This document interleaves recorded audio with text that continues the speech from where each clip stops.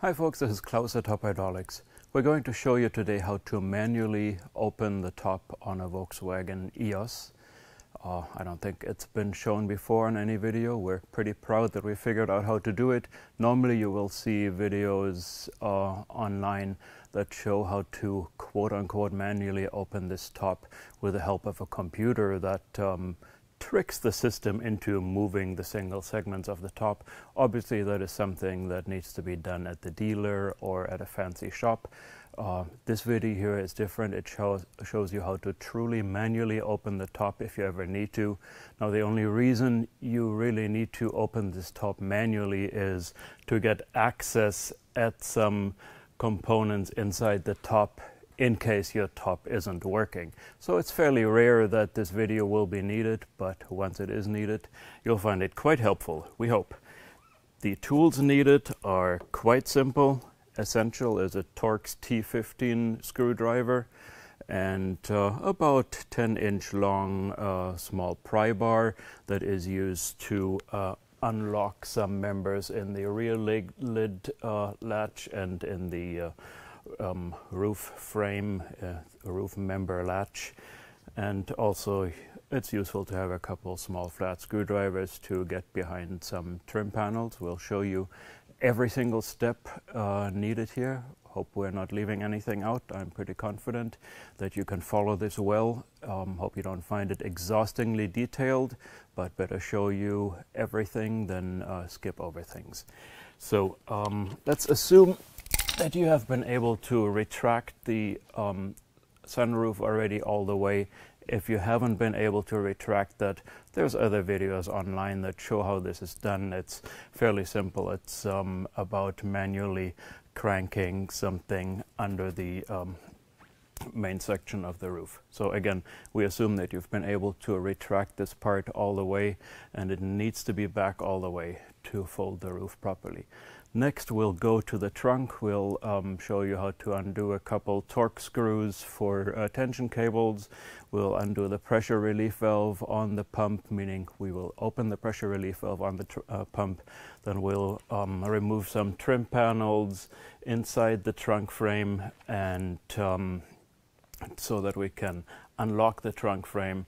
Then we will show you how to unlock the uh, roof member lock inside this uh, rear seat panel or rear glass panel. And after those things have been unlocked we can actually manually lift the top manually lift the top and let it drop into the trunk. Um, it does not take a whole lot of force to lift this. Two people can do it fairly easily. So um, this is not a terribly hard job as long as you're detail oriented and um, hopefully able to uh, follow every single step in here. There are some uh, steps that take a good amount of force. You simply have to finesse those. But altogether, um, your regular handy person can manually open the top. More importantly, really, is uh, one can also manually close the top. That will be in a different video, and it takes a little bit, bit more uh, force, meaning it takes three or four people to lift the roof up. But again, that's for another video. Let's right now open this top manually and follow me to the trunk. So here we are in the uh, trunk of the Volkswagen EOS. Uh, let me pull up the carpeted uh, panel that uh, is above the spare tire. And here you see the hydraulic pump. It is under this gray foam cover. Actually, uh, this car is missing a small bracket that is on top of here that uh, is also easy to remove. So for access to the pump, all we have to do is pull this plastic panel up and then expose the pump inside of this uh, foam housing. To pull the access cover up, you actually, we have loosened it already. It only takes pulling up in all directions.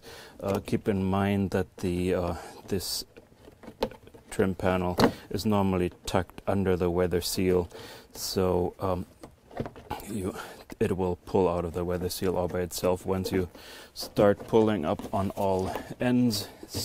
The um, one of the important things is disconnect the wire for the connector for the interior light here for the trunk illumination.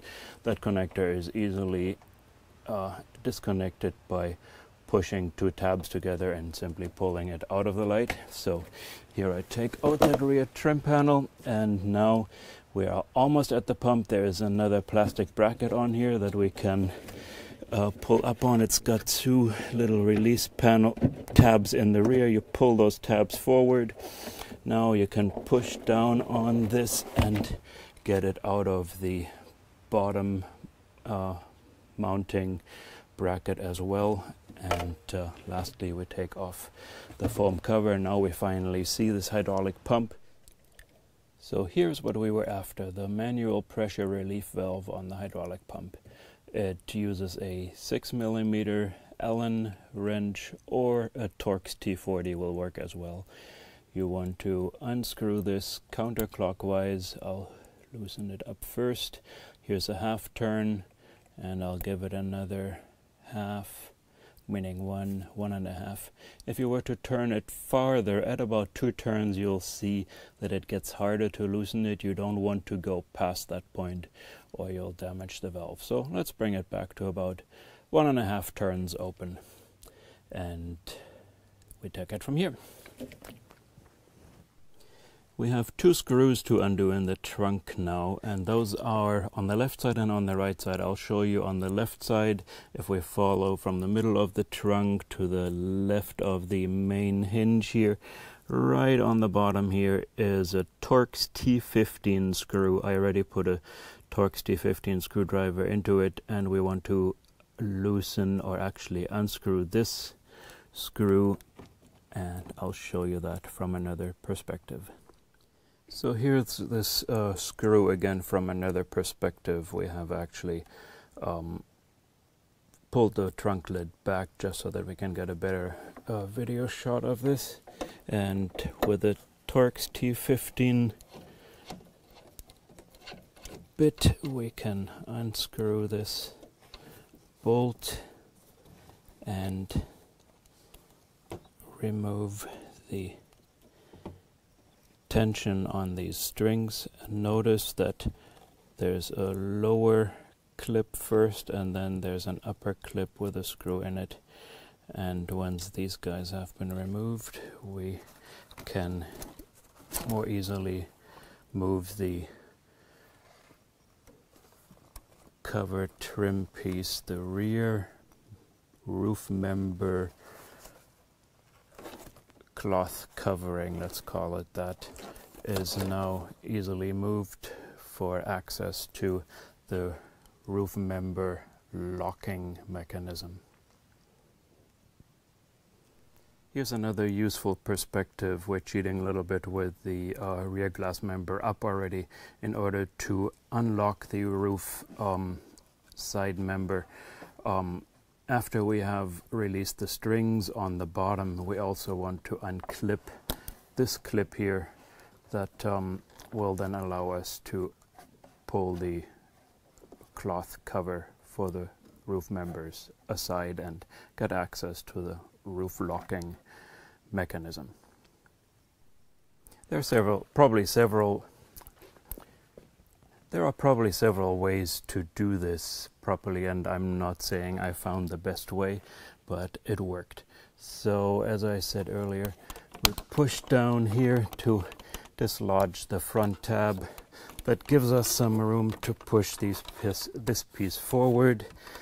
That in turn gives us room to pry up here a little bit, and with the front piece pushed forward, it will eventually, after a bunch of wiggling, allow us to clear the middle tab. Now I can slide this piece back, slide the top piece back, slide this piece out of the way, and we have access to the cylinder. And here comes the fun part, unlocking the rear lid front latching mechanism. Now you could do this with a large flat screwdriver. What we want to do is push this end of the cylinder forward and you could just lodge a large screwdriver in here and push forward. Uh, I don't like the idea that much because what you want to avoid is slipping and stabbing things. So it's uh, good to be um, smooth and steady and I found this angled um, pry bar a lot more useful because it just gives me better clearance. I can push at a better angle. So I lodge the pry bar behind the rod end, it's called on the cylinder, and push forward. I lean my body into it a little bit and go slow and steady. Just keep in mind you don't want to slip your tools, you don't want to hurt yourself. So pushing forward, moving my body into it. It does take some force and finally there the front section of the uh, trunk lid has unlatched. Obviously we do the same thing on the other side that is the same trim removal and the same moving this cylinder forward and then we go to the next step. We close the trunk lid. Note that it will not close all the way, but rather rest on these claws in the rear, that's okay. We have enough clearance now to let the roof stack, meaning to move the rear section of the top or the rear C-pillar. And uh, next I'll go inside here and show you how to unlatch the latches that actually stiffen the frame over here and um, then allow you to lift the rear glass up. Follow me. So here are the rear roof members and this piece of cover is why we showed you earlier that we needed to undo this Torx bolt and I also showed you in a separate perspective how to unclip this plastic from this frame member. Well, it's hard to show on camera now how it's done uh, in place. You just have to feel your way around it and uh, unclip this piece that was previously clipped together. It unclips from this frame member. Now the uh, nylon cord doesn't have tension on it anymore because we undid the Torx bolt and we can secure this above the rear um, headrest and what we're really after is this rear roof member locking mechanism that locks down the midsection of the roof, makes it rigid. Well, that is currently locked down and we need to get it over its dead spot, meaning we move this part here up and um, once this locking mechanism is over the dead spot, we can lift the rear glass up. Now, here comes my uh, trusted old pry bar again, and I'll try to do this without being in the shot, without my head being in the way here. I lever the pry bar over this frame member under this uh, spherical rod end and push up. There we go. You see that it first comes up and actually it's a semicircular motion. It really moves forward from there on. Now we don't need to move it farther than this about three quarter inch or so than that it has already moved. We do the same thing on the other side and that is already unlatched then allows us to lift the rear glass section up. Ta-da! From here we manually lift the rear section, rear glass section or rear C-pillar of the top. It takes two people to do this. It's not terribly hard, but it takes two people to keep the whole thing balanced.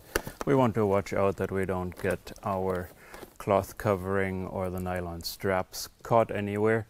Next we uh, grab the trunk lid, mostly in the front corner and lift it up backwards.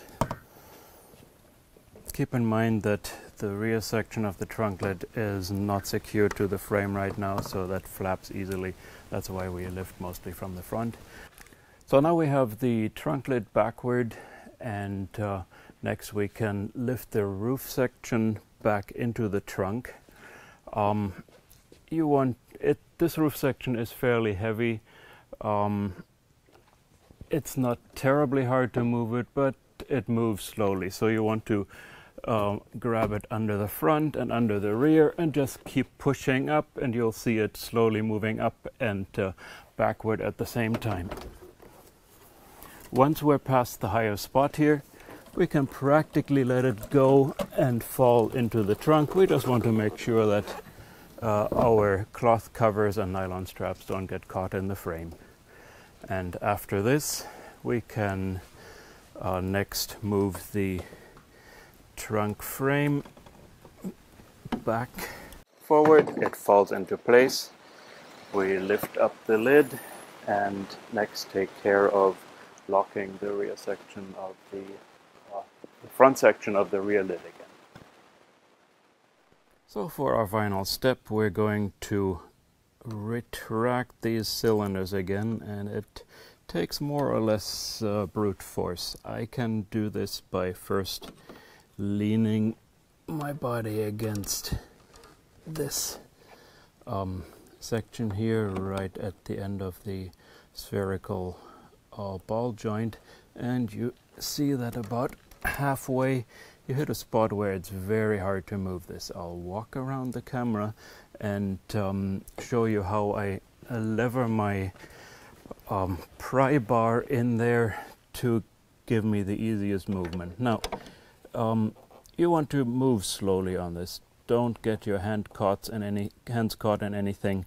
It uh, just so happens that this pry bar works out beautifully. It's got this 45 or 30 degree angle rather, um, where I can have the tip of the pry bar hitting right behind the bolt in this uh, frame and this curved section getting at the ball joint and I can slowly move this in a controlled way watching out that my tool doesn't slip.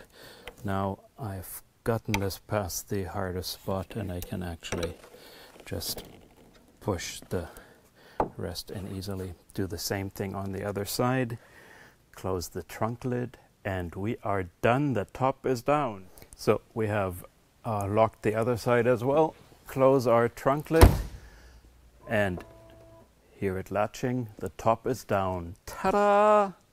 It, we're really proud of this uh, video because uh, we're not aware that anybody else has done this before manually. At least there hasn't been a video out, and um, we're hoping that it was easy enough to follow.